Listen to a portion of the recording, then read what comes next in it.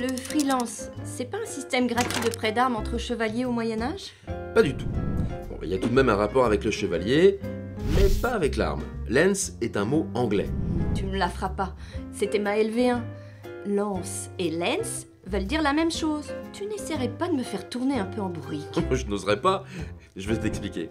Ce mot apparaît par exemple dans le roman Ivanhoe, où le capitaine de Brassy propose de mettre ses freelances, ses armes libres de toute allégeance, au service de Richard Cœur de Lion. Ah, je n'aurais jamais trouvé ça. C'était beaucoup trop dur comme devinette. J'avoue. Un freelance, c'est donc quelqu'un qui offre ses services à autrui. Comme un plombier, par exemple? Non, on parle plutôt de freelance pour des professions intellectuelles ou artistiques. Des photographes, des graphistes, des experts. Des chevaliers